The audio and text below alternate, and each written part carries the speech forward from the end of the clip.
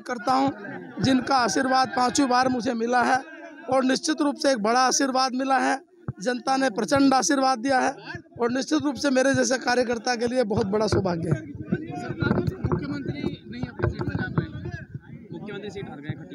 हाँ उस पर निश्चित रूप से मेरी जानकारी में आया है।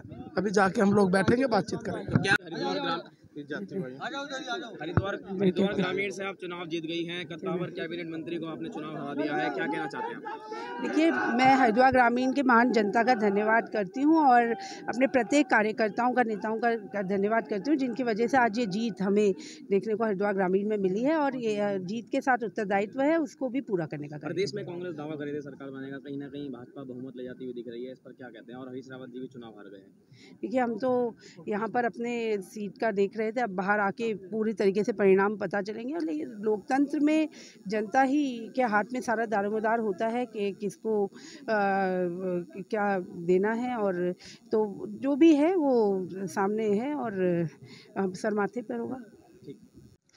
देखिए सबसे पहले तो मैं अपनी कांग्रेस पार्टी का हाईकमान को धन्यवाद करना चाहती हूँ कि उन्होंने मुझ पर भरोसा जताया। उसके बाद मैं परमपिता परमात्मा का और भगवानपुर की सम्मानित जनता का और पार्टी के समर्पित कार्यकर्ताओं का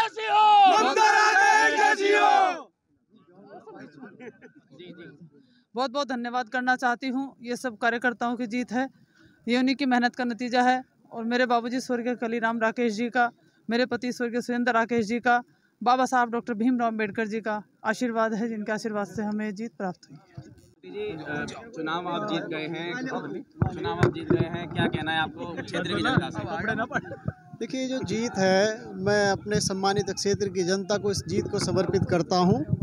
और यह कहीं ना कहीं उन्हीं के आशीर्वाद का नतीजा है और यह जीत उन्हीं की है। और इस जीत में मैं ये कहना चाहता हूँ कि इस जीत का श्रेय उन्हीं को जाता है और इस जीत से जो भी बन पड़ेगा वो उन्हीं के लिए होगा। कहीं ना कहीं प्रदेश में जो कांग्रेस की सरकार नहीं आ पाई दावे कर रही थी कांग्रेस सरकार लाने के इस पर क्या मैं अभी अभी मतगणना हॉल से निकला हूँ और मैं प्रदेश वहाँ पे इलेक्ट्रॉनिक या मीडिया के कुछ ऐसे साधन नहीं थे कि मैं देख पाऊँ कि प्रदेश में क्या चल रहा है। अभी मैं बाहर जाते ही इस पर ज़रूर टिप्पणी करूँगा। विधायक जी विधायक जी हरीश रावत जी खुद हार गए हैं। किस नज़र से देखते हैं उनकी देखिए मुझे आप ही से पता चला है हरीश रावत जी हार गए हैं और लोकतंत्र है लोकतंत्र में हार जीत चलती रहती है हारे हैं तो जीतेंगे भी। विधायक जी पुष्कर सिंह धामी भी हार गए चुनाव किस नज़र से देखते हैं?